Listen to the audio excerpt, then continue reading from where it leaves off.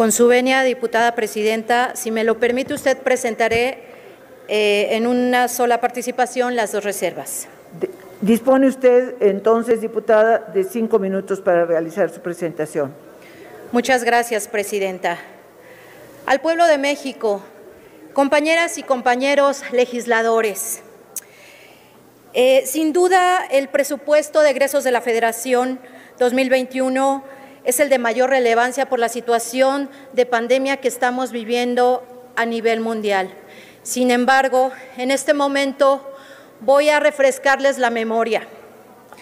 En el año 2015, eh, la legislatura anterior a la nuestra, el primer partido que propuso quitar el financiamiento público a los partidos políticos fue Encuentro Social. El 29 de septiembre del 2016, diputados de Encuentro Social eh, presentaron iniciativa que reforma el artículo 41 y 116 de la Constitución Política de los Estados Unidos Mexicanos para eliminar el financiamiento público a los partidos políticos. Siguió el trámite y se le concedió prórroga de 90 días. Fue desechada el 31 de, de julio del año 2017. El año pasado nuevamente se presentan iniciativas para eliminar el financiamiento público a los partidos políticos, iniciativas presentadas por Encuentro Social, a la cual se sumaron eh, diputados de, Morena. la propuesta de Encuentro Social de cero financiamiento público a los partidos políticos les dio mucho miedo. Entonces se presentó que fuera la mitad, el 50%. Sin embargo, no fue aprobada. Los únicos partidos que votaron a favor de eliminar el 50% de financiamiento a los partidos políticos fue Morena y Encuentro Social. Esta reducción la propusimos para fortalecer temas de salud y de seguridad mucho antes de que se presentara esta pandemia a nivel mundial. Hemos sido sensibles a las necesidades del pueblo y lo hemos manifestado desde que hemos sido eh, hemos presentado iniciativas y estamos haciendo esta labor legislativa.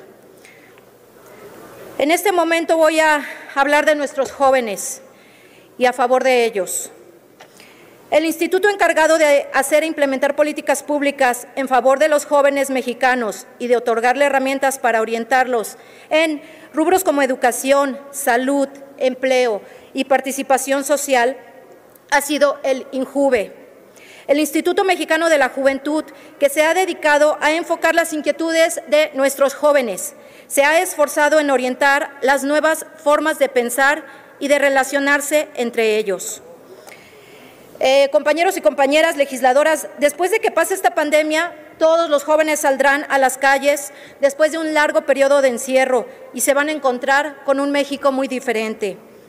Un México que va a tener eh, nuevos retos y situaciones que enfrentar. Nosotros proponemos adicionar 2.9 millones de pesos al INJUVE con el objetivo de fortalecer el programa de articulación de políticas integrales de la juventud. El siguiente, eh, la siguiente reserva corresponde a la economía social. Como ustedes saben, la economía social es un conjunto de prácticas que reproducen un esquema solidario y es una manera diferente de fomento económico. Este tipo de economía busca una transformación social de fondo, siendo aplicada para cualquier tipo de empresa, para cualquier cooperativa y caja de ahorro inclusive, siempre y cuando sigan una serie de características. En México, los organismos del sector social de la economía están señalados en el artículo 25 de la Constitución y en la Ley de la Economía Social y Solidaria.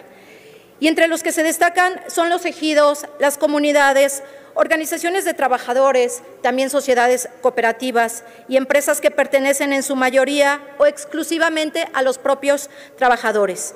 En general son todas las formas de organización social que eh, se manifiestan porque son de producción, de distribución y de consumo, ya sea de bienes y servicios que son socialmente necesarios, y lo diríamos son fundamentalmente necesarios.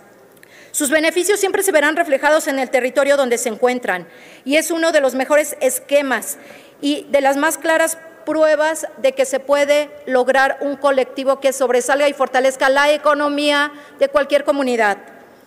La economía social reúne capacidades y recursos de todas las personas que participan en ella, genera valores de suma importancia y más necesarios actualmente en una sociedad que necesita el fortalecimiento de las relaciones de solidaridad y confianza, eh, fortalece el espíritu comunitario y la participación activa en la sociedad.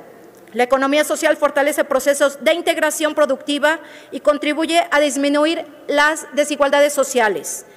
Necesitamos disminuir la distancia entre los distintos sectores de la sociedad en nuestro país.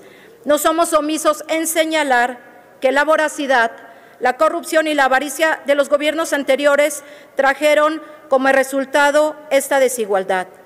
Es por ello que consideramos que es un tema sensible y necesario en el cual se deben asignar recursos. Es cuanto, Presidenta.